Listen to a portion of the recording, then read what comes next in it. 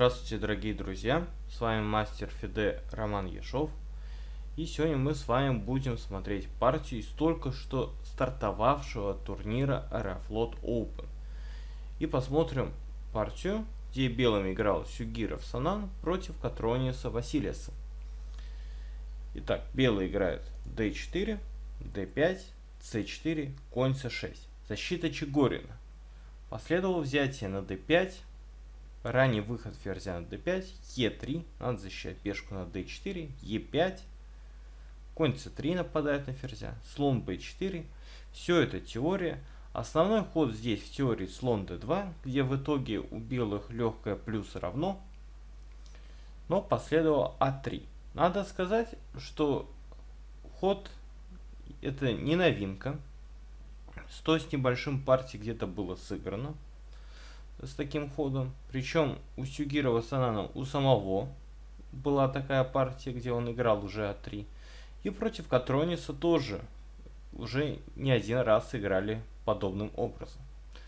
Произошло взятие БЦ, конь F6, С4. И здесь два пути отхода у ферзя. Более лучше считается отойти ферзем на D6. Катронис так один раз сам уже играл. Надо играть d5. Конь отходит. Развиваем коня. Конь e4. f3. Прогоняем коня на поле c5. После этого переводим своего коня на более лучшую позицию на поле c3. Черный играет ферзь g6. Мешает развитию нашего слона. Тут под его боем пешка на g2. Поэтому надо играть ладья а2. Если не знать теорию, конечно, такой хитрый ход и не найти. Рокировка. Потом ладья переводится на f2. После хода f5 слон e2, конь с b на d7 и рокировка. Только после такой серии ходов у белых есть преимущество. Плюс равно. Ну, в партии было сыграно ферзь d8. Тоже возможный ход ферзем. Было сыграно d5 Здесь в, пар в партии Дин против Иванчука в 2016 году Иванчук сыграл конь b8.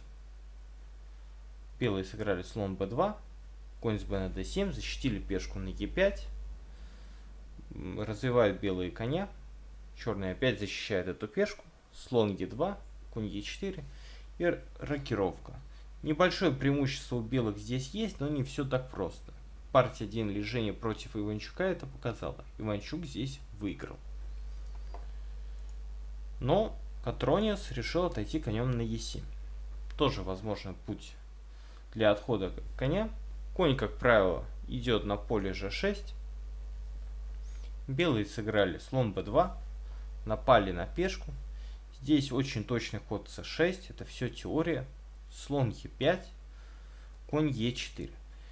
И, скорее всего, Катрониус э, готовил в этой позиции ход ферзь b3, который советует компьютер. Давайте вместе посмотрим, что именно компьютер предлагает здесь за черных. Это f6, надо напасть на слона, заодно защищаем пешку g7. Слон должен отходить, очень сильный ход b5. Надо играть ладья d1, ладья встает напротив ферзя, происходит взятие на c4. Брать на c4, конечно же, нельзя, под темпы попадаем. Поэтому ферзь должен отходить на а4. Делаем связку на пешку. Слон d7. dc. Надо съедать конем. После этого съедаем пешку слоном. Не даем черным рокироваться. Ладья связывает слона и ферзя. Черные должны найти здесь еще вот такой вот чумовой ход, как конь d4. Под нападение теперь вражеский ферзь. Белым здесь для того, чтобы продолжать борьбу, надо найти еще ход слон f7 шах. Король съедает на f7, а белый съедает на d4. Ферзь опять шах, и происходит размен ферзей. Позиция несколько упрощается, но у черных здесь есть компенсация за пешку. Королю не так просто здесь рокироваться. В любой момент слон может встать на b5 и контролировать всю эту диагональ. У белых чуть-чуть поприятнее за счет лишней пешки, но здесь не так все просто. Давайте вернемся к партии. В партии Сюгиров Санан сделал обычный ход конь f3. Казалось бы, что здесь такого, но именно после этого хода Катрониус поплыл. Последовало ферзь опять шаг к королю, надо закрываться конем. Э, взяли пешку на d5, произошел размен, и здесь Катрониус ошибся. Он съел конем пешку на d5. И отдал очень важную пешку на g7. Он это явно недооценил, важность этой пешки. Правильнее было здесь сыграть, сделать рокировку, защитить тем самым пешку. Пешка на d5 никуда не уйдет. Белые должны играть слон d3, быстрее развивать фигуру. Чувствуется, что у них есть нехватка развития. Тогда конь d2, ферзь d2 и ферзь d5. Отыгрывая пешку, нападая сейчас на пешку g2 и на слона e5. Белым надо играть f4. Ферзь защищает пешку на g2. И слон теперь тоже под защитой. Ладья d8. Нападают на слона, надо его защищать ладьей. Слон f5 продолжает снова нападать на слона. И здесь идет массовый размен. Ладья d8, ладья d8 и король e2. Все переходит к равной позиции. Но в партии, как я уже говорил, черные сыграли конь d5. После этого позиция черных просто разваливается. Последовало взятие пешки на g7. Надо уходить ладьей из-под нападения. Слон занимает устойчивую позицию. Здесь черные допустили еще одну неточность. Слон f5. Если уж развивать слона, так лучше слон e6. Чуть позже узнаем почему. Э, на f3 пойдем конь d6. Вот запомните э, именно вот эту позицию, что конь идет на d6. И на король f2 ладья c8. Здесь у белых, конечно, тоже перевес уверенный, но хотя бы играть можно где-нибудь.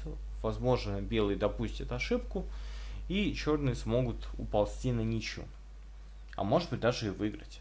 Шахматная история знала и не такие провалы.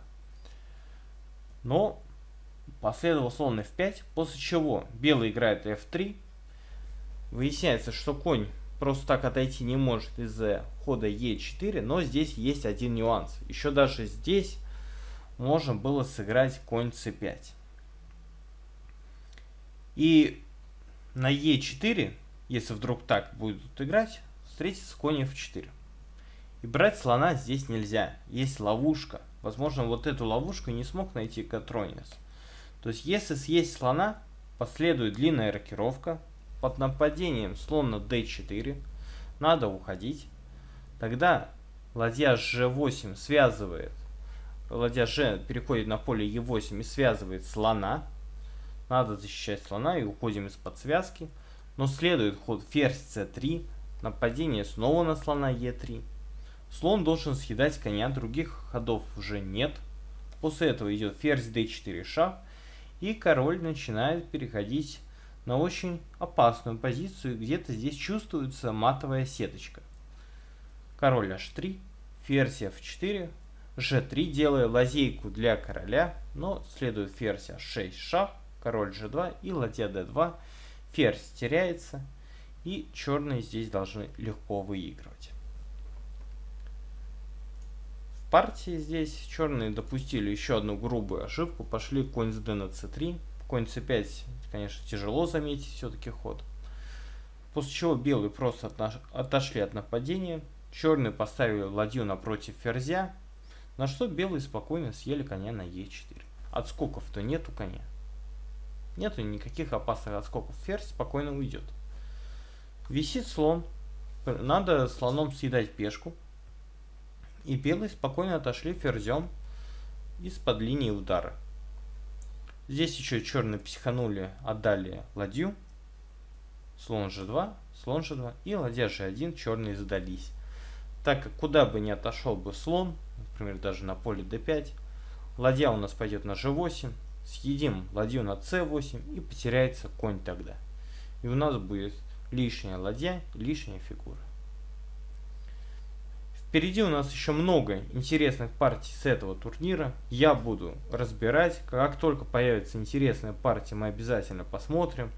Скорее всего, завтра я выложу еще один обзор одной интересной партии первого тура. Ну, следим за новостями. Всем спасибо за сегодняшний просмотр. До новых встреч. Всем пока.